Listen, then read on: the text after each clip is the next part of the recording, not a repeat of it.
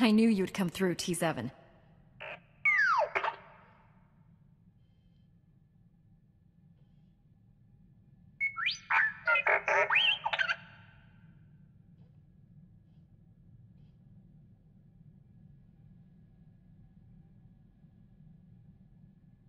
If we have Imperial sympathizers inside the Republic, we need to know who they are. Time to pay House Baylis a visit.